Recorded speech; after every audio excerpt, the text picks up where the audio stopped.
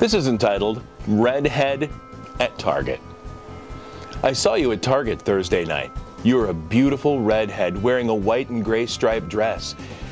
But I was far too chicken to say anything to you.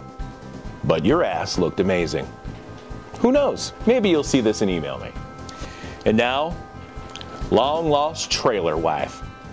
Matt, really, I mean, you don't seem to really shock me, but all the hours, months, a whole damn year, ABD, you really expected me to believe anything you ever told me?